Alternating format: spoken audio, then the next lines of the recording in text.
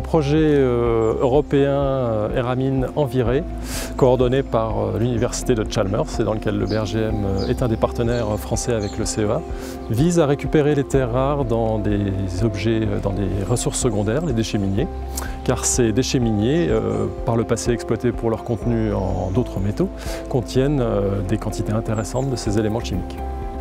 Le pilote euh, se décompose en cinq étapes. Une première étape euh, donc, qui se passe dans une cuve agitée, qui est une remise en pulpe du, déchet minier euh, que nous avons reçu d'une mine suédoise.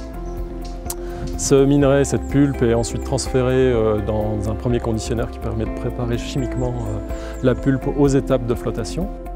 Cette étape de flottation se décompose en trois parties principales, le dégrossissage, euh, l'épuisage et puis le relavage euh, des mousses.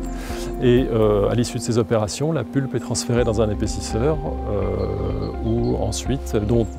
duquel elle sort pour être filtrée sur un filtre à bande.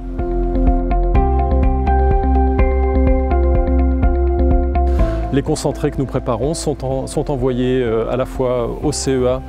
euh, à Markul et à Chalmers en Suède pour euh, réaliser les opérations de mise en solution des terres rares et de récupération par extraction liquide-liquide ou utilisation de, de liquide ionique.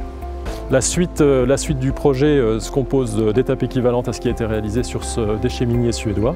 En particulier, nous avons reçu également un, lot de déchets venant du nord du Portugal, sur, lequel nous allons euh, reproduire un certain nombre d'opérations de concentration minéralurgique qui peuvent intégrer de la flottation, mais aussi des séparations gravimétriques ou, d'autres techniques séparatives de type magnétique ou, électrostatique de façon à concentrer la matière et ensuite alimenter euh, les opérations de dissolution chez nos autres collègues.